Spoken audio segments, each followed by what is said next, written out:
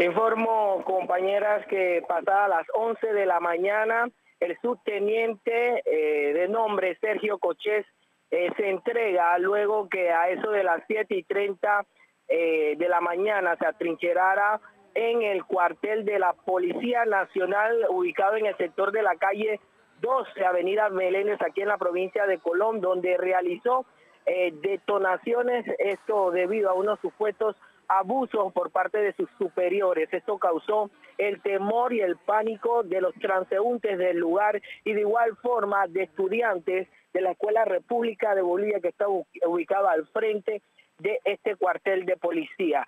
De igual forma se encuentran los bomberos que también estaban muy preocupados por la situación que se daba a eso de las 7 y 30 de la mañana. Al lugar llegaron eh, cuerpos este, estratégicos de la Policía Nacional, conocidos como los mediadores, a tratar de dialogar eh, con este subteniente Cochés. De igual forma, sus familiares, se pudo conocer que su esposa y también su hermano mayor llegaron y conversaron con él para tratar que eh, se entregara después de haber hecho esta situación de realizar detonaciones y él señalaba que era por unos eh, supuestos abusos que se están dando al interno de la Policía Nacional. Hasta el momento no se ha pronunciado eh, el comisionado Carlos Betancur, jefe de la zona policial de Colón, pero sí la Policía Nacional emitió un, un comunicado. Fueron tres eh, horas de pánico y tensión aquí en la, en la provincia de Colón, donde se cerró la vía porque no se podía transitar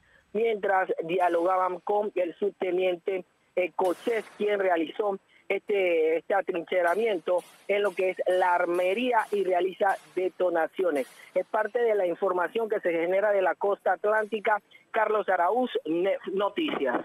Carlos, buenas tardes. ¿Se sabe si hubo heridos eh, durante esta situación que se presentó más temprano?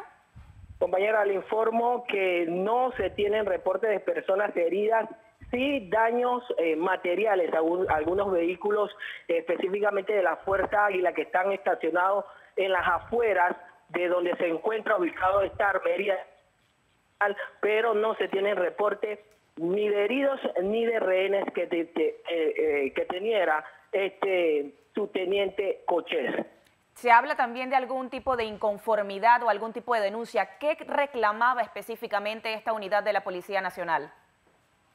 Ha podido conocer que el subteniente tenía algunas eh, diferencias, lo que ha denunciado a través de videos que circulan por las redes sociales, algunas diferencias con sus superiores, donde él señalaba eh, abusos, eh, temas también de los horarios, y él señalaba que era el momento de darse a conocer esta situación que se está dando en la Policía Nacional.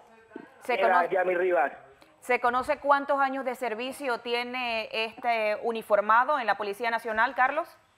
Aproximadamente se habla de unos 40 años eh, de edad que puede tener el subteniente Coches, quien hoy realizó en horas de la mañana este atrincheramiento en la armería y realizar detonaciones, compañeras. Bien, ya queda por parte de la Policía Nacional que se pronuncien nuevamente. Ellos emitieron un comunicado más temprano. Sin embargo, ahora falta eh, que digan qué es lo que sucedió con toda esta mediación que se dio luego eh, que se entregara esta unidad de la Policía Nacional. Gracias, Carlos, por el informe.